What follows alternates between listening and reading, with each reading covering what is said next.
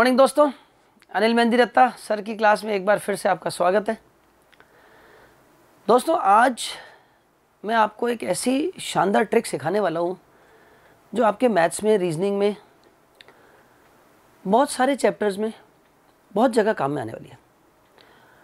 और इस ट्रिक को सुनने के बाद में शायद आपको ऐसा भी लग सकता है कि जैसे कोई जादू हो रहा है।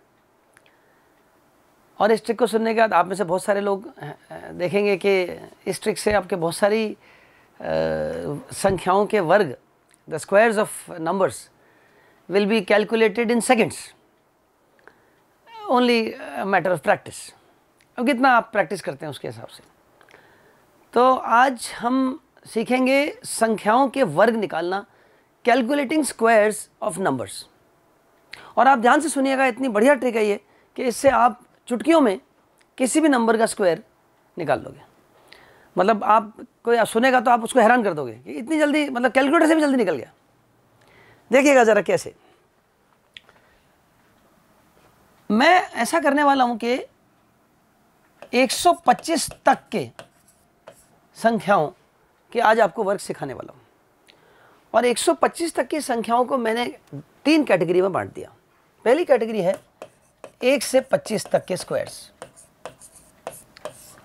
दूसरी कैटेगरी है पच्चीस से पिचहत्तर तक के स्क्वायर्स और तीसरी कैटेगरी है पिचहत्तर से एक सौ पच्चीस तक के स्क्वायर और इस ट्रिक को सीखने के लिए, इस ट्रिक को यूज़ करने के लिए एक रूल है, एक ज़रूरत है आपकी रिक्वायरमेंट है कि आपको एक से पच्चीस तक के स्क्वायर्स रटे हुए होने चाहिए। ये आपकी ज़रूरत है। एक से पच्चीस तक के स्क्वायर्स तो रटे हुए होने ही चाहिए, अगर इस ट्रिक को इस्तेमाल करना है तो। और एक से पच्चीस तक के स्क्वायर्स आपके रट गए तो आप एक सौ पच्चीस तक स्क्वायर्स निकाल सकते हो चुटकियों में, किसी भी नंबर के। देखिएगा अभी कैसे। और जहाँ तक आपको याद होंगे, वहाँ तक आप आराम से निकाल पाओगे। जैसे हम ऐसा करते हैं कि एक ग्रुप ले लेते हैं, पहले पिचहत्तर से 125 वाला ग्रुप अब पिचहत्तर से 125 वाला जो ग्रुप है, इसका मिड पॉइंट 100 इसका मध्य बिंदु 100 हो गया। अब मैं कोई भी नंबर बोर्ड पे लिखूँगा, वो या तो सौ से अमीर होगा, या सौ से गरीब होगा। अब अमीर किसको बोलते हैं? सौ से अधिक है, मोर देन हंड्रेड है तो अमीर है, एंड लेस देन हंड्रेड है तो गरीब है। तो फॉर एग्ज़ाम्पल मैंने एक नंबर लिखा बोर्ड पर 104 अब अमीर है कि गरीब है? अमीर है। कितना अमीर है? सौ से कितना ज़्यादा है? चार रुपये अमीर है। अमीर को और अमीर बना दो, गरीब को और गरीब बना दो। अर्थशास्त्र का भी यही नियम चल रहा है। अमीर अमीर होता ही जा रहा है, गरीब गरीब होता जा रहा है। मैं मानता हूँ ये गलत है, लेकिन हम यहाँ पर अमीर को और अमीर बनाएँगे, जितना अमीर है उसको और अमीर बना देंगे, जितना गरीब है उसको और गरीब बना देंगे। जैसे 104 चार रुपये अमीर है तो आप इसको चार रुपये और दे दो कि ले भैया चार रुपये और ले ले। यानी अब ये बन गया 108 और 108 बन गया। आपने इसको चार रुपये दिए हैं। जितने रुपये आपने इसको दिए हैं उसका वर्ग बगल में चिपका दो। आपने चार रुपये दिए थे इसको। चार का वर्ग सोलह होता है। Square of four is sixteen right sixteen in front तो दोस्तों, एक सौ चार का वर्ग आ गया। तुरंत। अब क्या होता है कि जैसे एक गरीब लेते हैं। मैंने कहा, मान लीजिए नाइन्टी फोर का स्क्वायर निकालना है।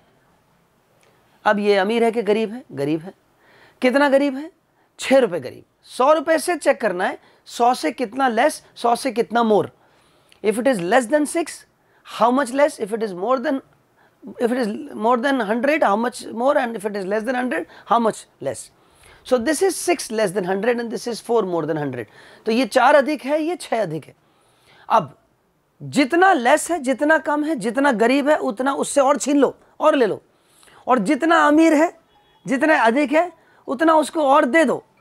तो अब ये छः रुपये गरीब है। अगर ये छः रुपये गरीब है तो इससे छः रुपये और ले लो आप। अब नाइन्टी फोर में छः माइनस कर दो, यानी एटी एट। ठीक है साहब छः माइनस कर दिए। अब आपने कितने माइनस किए थे? छः माइनस किए थे। कितना गरीब था ये? छः गरीब था। तो जितना ये गरीब है, उसका स्क्वायर इसकी बगल में चिपका दो। तो छः का स्क्वायर होता है छत्तीस, सिक्स सिक्स का square is thirty six. So the answer is eighty eight, thirty six. तो ये तरीका है, दोस्तों, जिन, जिससे अब आप हंड्रेड के निकट वाले सारे नंबर्स के स्क्वायर्स निकाल सकते हो। हंड्रेड से ज़्यादा वाले, हंड्रेड से कम वाले। गरीब और अमीर। अच्छा यहाँ एक बात आपको बता दूँ।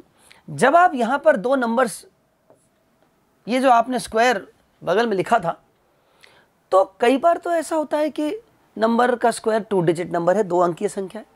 कई बार ऐसा भी होता है कि एक अंकीय संख्या ही होती। अब एक अंकीय संख्या तो क्या करें? जैसे मान लीजिए मैंने कहा 103 का स्क्वायर निकालना है।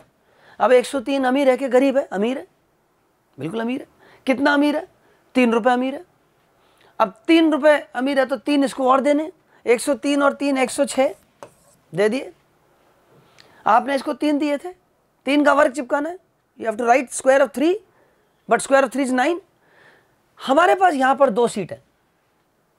और अब स्क्वायर जो आया वो सिंगल डिजिट है। तो नाइन कैसे लिखें? Zero nine.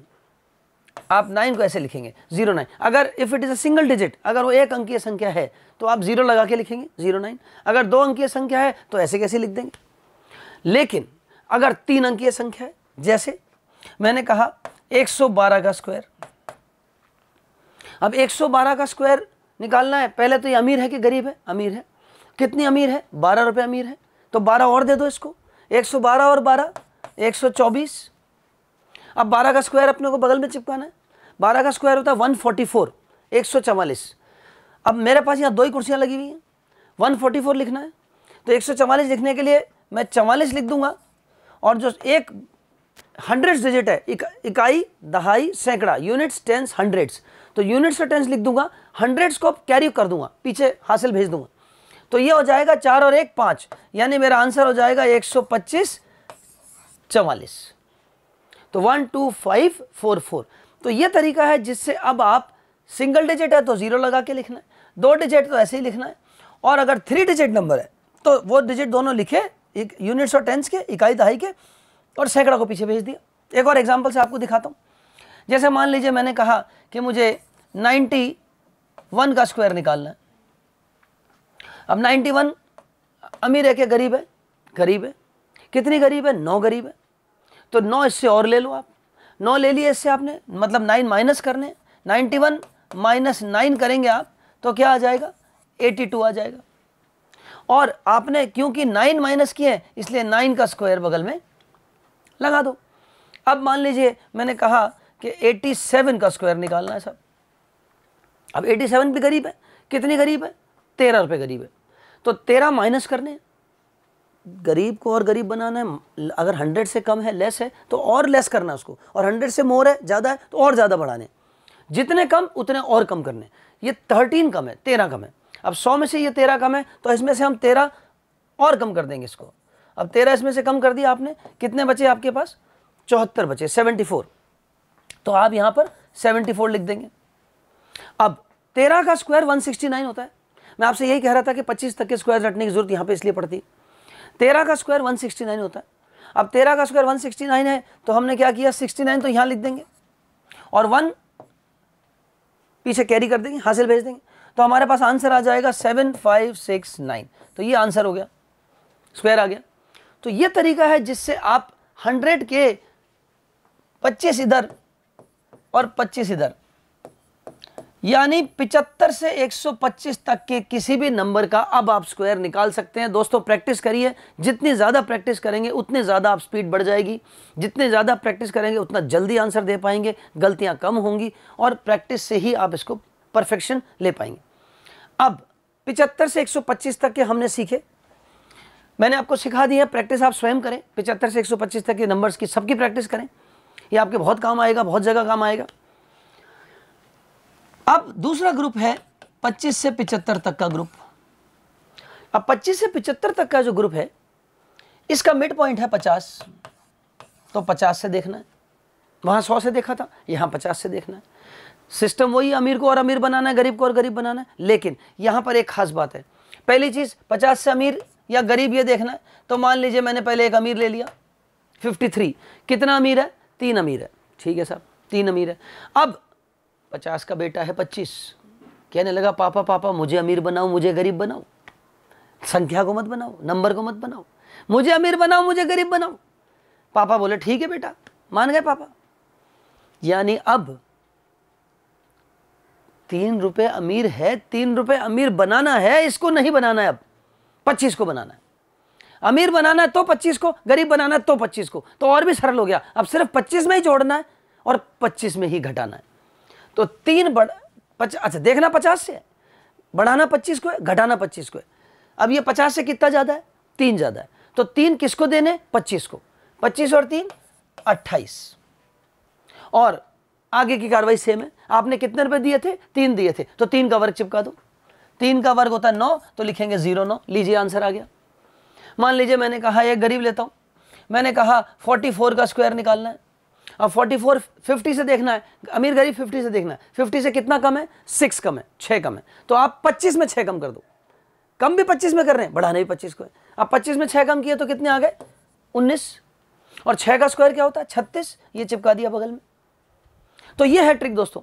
इससे अब आप 25 से 75 तक का कोई भी नंबर मैं एक और लेता हूँ। जैसे मान लीजिए मैंने कहा 61 का स्क्वायर निकालना है।